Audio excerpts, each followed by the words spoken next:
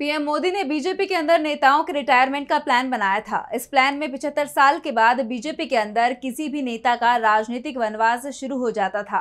Party की तरफ़ से उसे किसी भी तरह के चुनाव में उम्मीदवार नहीं बनाने की नीति तैयार की गई थी।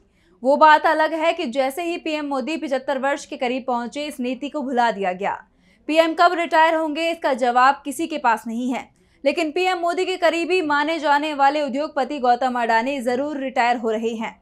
तो क्या है अडानी के रिटायरमेंट का प्लान देखिए रिपोर्ट राहुल गांधी लगातार दावा करते रहे हैं कि नरेंद्र मोदी की सरकार गौतम अडानी के लिए काम करती है।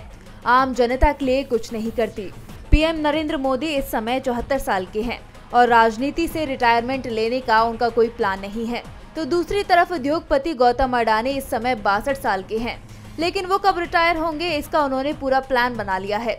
गौतम अडानी ने साफ़ कर दिया है कि जब वो 70 साल के होंगे तो अडानी ग्रुप के चेयरमैन पद को छोड़ देंगे। उन्होंने कहा कि रिटायरमेंट के बाद वो अपने बेटे और भतीजों को ग्रुप की कमान सौंप देंगे।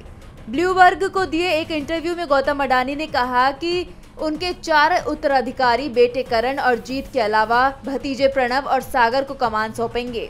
अडानी ग्रुप में इस समय गौतम अडानी के बड़े बेटे करण अडानी अडानी पोर्ट्स के मैनेजिंग डायरेक्टर हैं, जबकि उनके छोटे बेटे जीत अडानी अडानी एयरपोर्ट्स के डायरेक्टर हैं।